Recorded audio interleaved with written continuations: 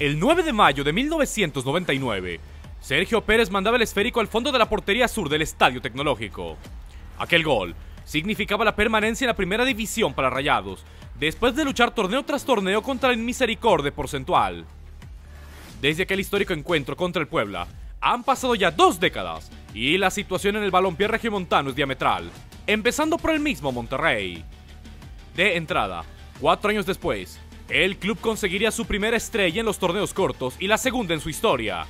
Posteriormente, una década más tarde, arrancaría la época más gloriosa de la institución, en donde se ganaron dos ligas y tres títulos de la CONCACAF. El cuarto llegaría más tarde. Aunado a ello, la pandilla cambiaría de casa y dejaría precisamente el tecnológico para irse al gigante de acero. De hecho, el mismo Tech ya no existe. Sí, la modernidad tiene un costo.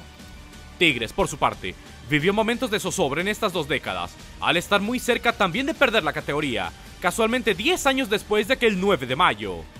Pero también, la U se levantó y se encuentra como el mejor equipo de la última década. Los felinos no solo rompieron casi 30 años sin ganar una liga, sino que ya tienen 6 en su haber. Además, llevamos dos finales entre Rayados y el Auri, con un título por bando, uno doméstico y otro internacional.